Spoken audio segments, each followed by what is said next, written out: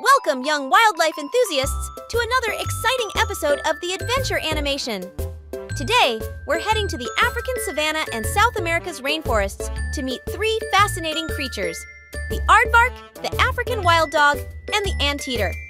Join us as we uncover the unique features of these incredible animals and learn how they survive in their wild habitats. Our first animal is the aardvark, a nocturnal creature with a long snout and large ears. Aardvarks are expert diggers, using their strong claws to excavate termite mounds and ant nests for a tasty meal. They have a keen sense of smell, which helps them locate their food underground. Fun fact the name aardvark means earth pig in Afrikaans, which perfectly describes this animal's appearance and behavior. Aardvarks play a vital role in their ecosystem by controlling termite populations and creating burrows that other animals use for shelter. Next, let's meet the African wild dog, also known as the painted wolf or Lycaon pictus. These social animals live in packs and are incredible hunters, using teamwork to chase and catch their prey. Their uniquely patterned coats help them blend into their surroundings and communicate with other pack members.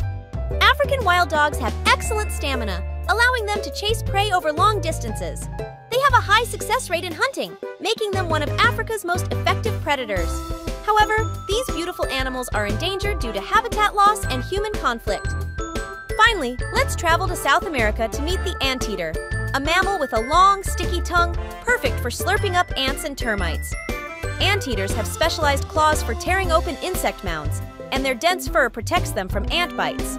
Anteaters can eat up to 30,000 insects in a single day.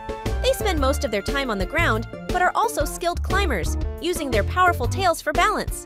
These unique animals play a crucial role in controlling insect populations in their habitat.